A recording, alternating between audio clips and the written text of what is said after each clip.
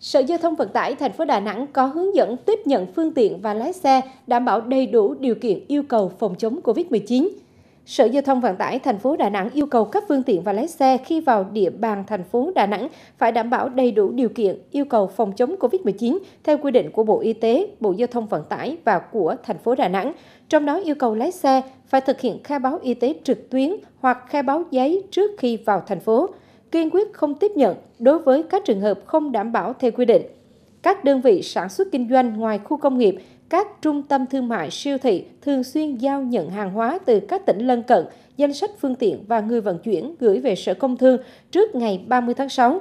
Đối với hoạt động kinh doanh vận tải hành khách bằng ô tô, bao gồm xe tuyến cố định, xe hợp đồng, xe du lịch, xe taxi, Sở Giao thông Vận tải thành phố lưu ý một số nội dung quan trọng sau